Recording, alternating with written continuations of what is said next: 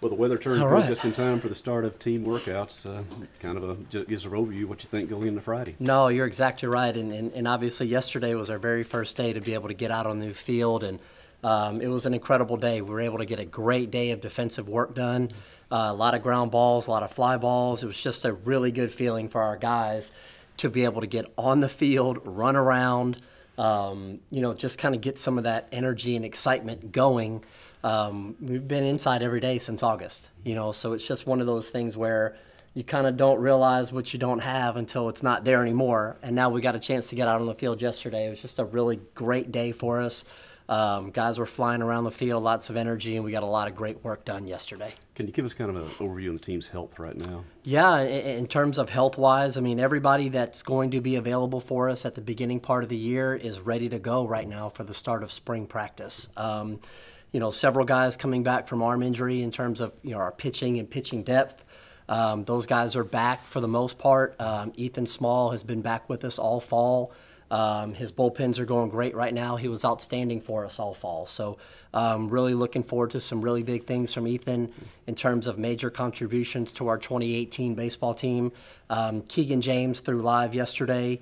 Uh, did an outstanding job through strikes with, with three pitches. So, um, in terms of getting back some of these arms healthy again, uh, from a head coaching standpoint, that's a great feeling. Um, and, and just trying to increase our depth on the mound, uh, which is a really great feeling compared to where we were a year ago, where we were so shorthanded on the mound.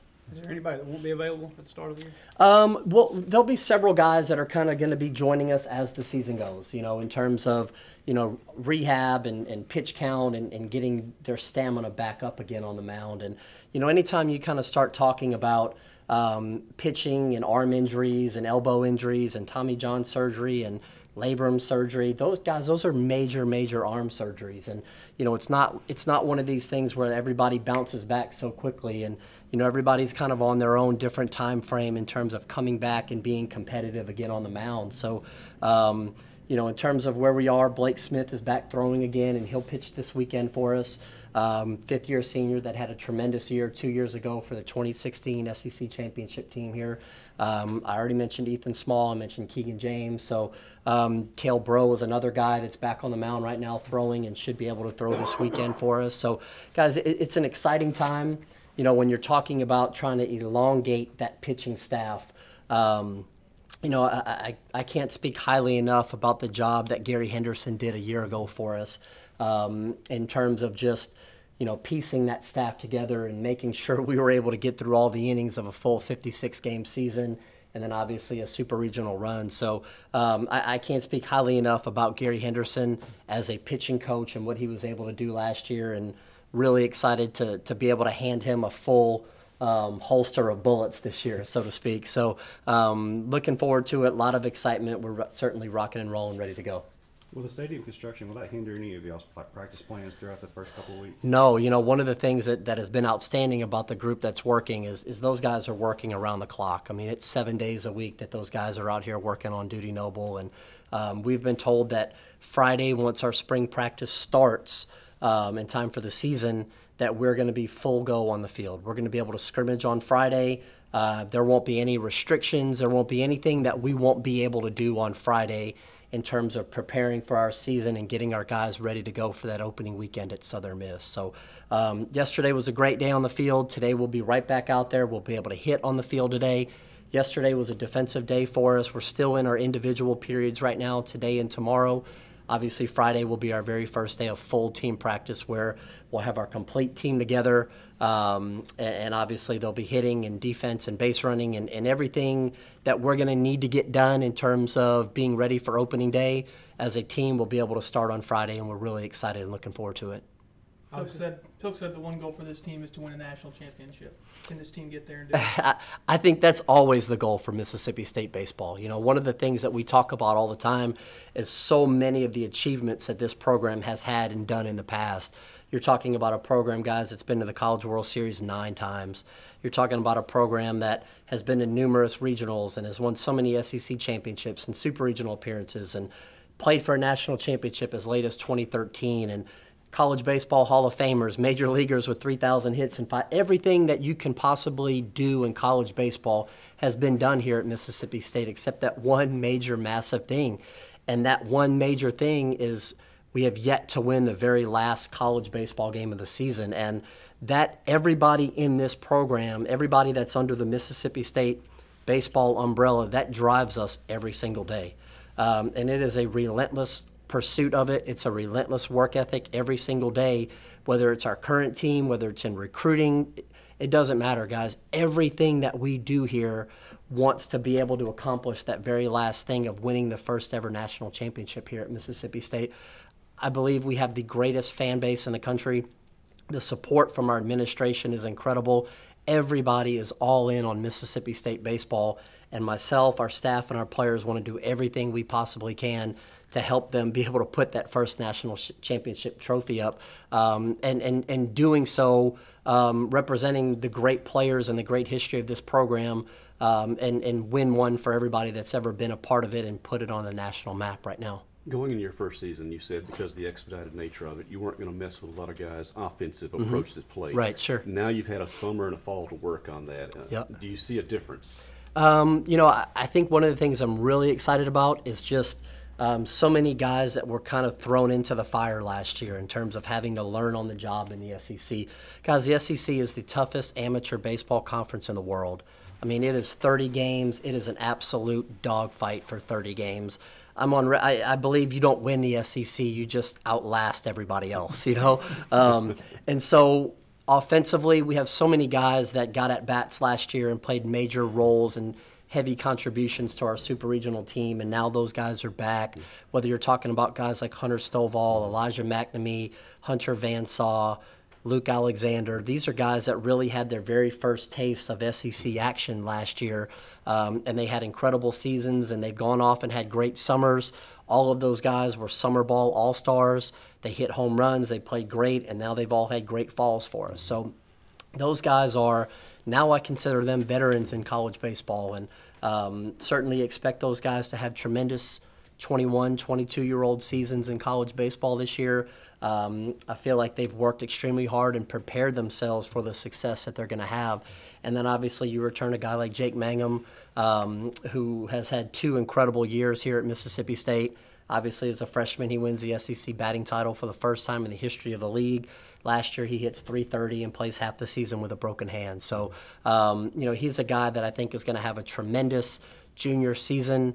I think he's a guy that could could, when it's all said and done, be an SEC Player of the Year in a completely different mold than obviously Brent Rooker did from a year ago, but maybe more along the lines of a Tony Kemp from Vanderbilt several years ago, where somebody's going to hit north of 400, steal a lot of bases, and impact the game in so many different ways. So, um, really excited about the group that we have coming back offensively. Certainly, guys have made adjustments. We've got several younger guys um, that are going to that are going to impact our team early this year. Um, several names that I kind of want to let everybody know about that I think have a chance to really be on the field early for us. Freshman Tanner Allen from Mobile, Alabama. Freshman Rowdy Jordan from Auburn, Alabama. Um, I think both of those guys are going to find their way into our opening day lineup in some capacity.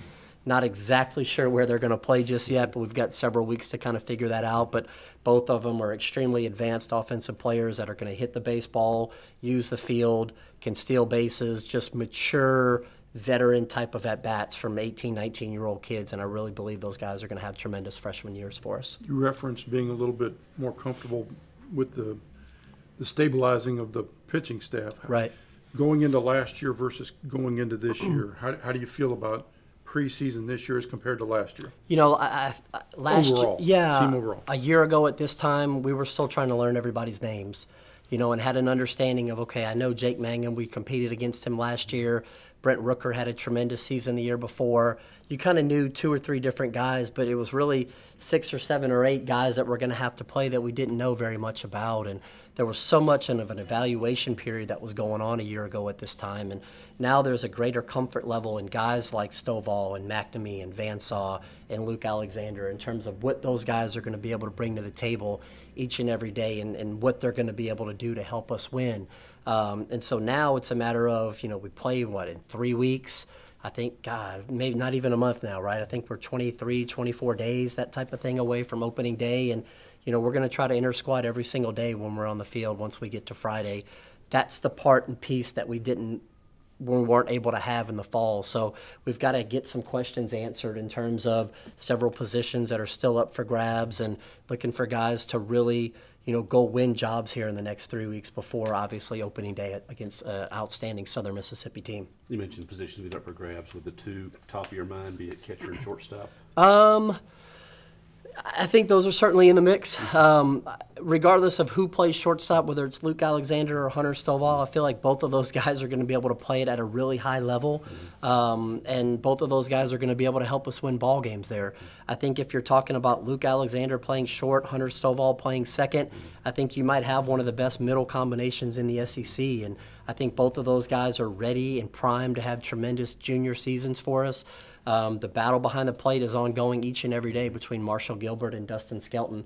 Um, both of those guys have looked extremely well during their individual sessions, um, but ultimately it's about going out there and performing under the lights. And you know that catching position is one where you need tremendous amounts of leadership, and you're looking for guys to be able to control a pitching staff and be able to receive it and block the baseball and do those kind of things that we put a really high uh, level of importance on in this program. So that's a battle that's going to kind of come down to the wire, I think, here in the next three weeks. Um, there's going to somebody new is going to have to play third base, and we're going to have to find a new first baseman too. So, um, you know, there's positions available all over the field.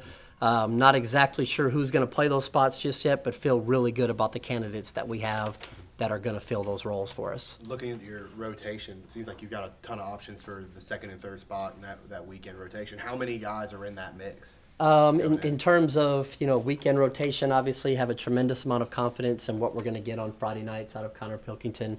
You're talking about a um, innings eater, workhorse kind of guy that's got a chance to be a first round pick in June. Um, and then after him, guys, there's a there's a tremendous pool of applicants that we didn't quite have a year ago. Um, and I think when you're starting to talk about those guys, you're talking about a mix of you know Ethan Small, you're talking about Jacob Billingsley, you're talking about Cole Gordon. Um, you're talking about J.P. France, who's a fifth year transfer for us this year. Zach Neff is another fifth year transfer for us. So, you know, guys, I feel really good about the applicants that are going to be able to pitch on the weekends for us. Um, those questions are going to be answered here in the next three weeks. But in terms of who it could potentially be, I would look for you know, Friday, Saturday, Sunday to come from those pool of guys that we just mentioned. And it's going to leave us a tremendous talented arm for a Tuesday or a Wednesday start, which is going to be um, certainly a welcome addition to the 2018 version of the Dogs. Is Ethan Small available for the weekend? Is he on, tra- uh, is he on track for the first weekend? yeah, Ethan Small is good to go. He pitched all fall for us. He will pitch this Sunday in, in scrimmages and inter squads. Um, and he's been outstanding, guys. You know, he is another six foot four left-handed pitcher that's up to 95 with his fastball, with a good breaking ball and a changeup. Um, he's a guy that's really grown up here this year in terms of you know the maturity and leadership uh, of what it's going to take to be able to pitch on the weekends here in the SEC. And you know he's been outstanding. Um, you know the biggest difference between Pilkington and Small, their pitch packages are the same. Um, but you've got Connor Pilkington with a tremendous amount of track record in the SEC, having made 17 SEC starts last year on a Friday night. And I think there's the biggest difference between the two. One has done it for two years, and one only has 10 innings here at Mississippi State due to due to an elbow injury. So I'm looking forward to big things from those guys. But you know, I can certainly envision. You know, going Pilkington on a Friday, Ethan Small on a Saturday. Now you're talking about two six-four lefties with mid 90s fastballs that's a pretty good uh, package to roll out there on a Friday and Saturday to try to keep the score down. Anything else? All good? Good? Guys, I appreciate everything, man. It's good seeing everybody again.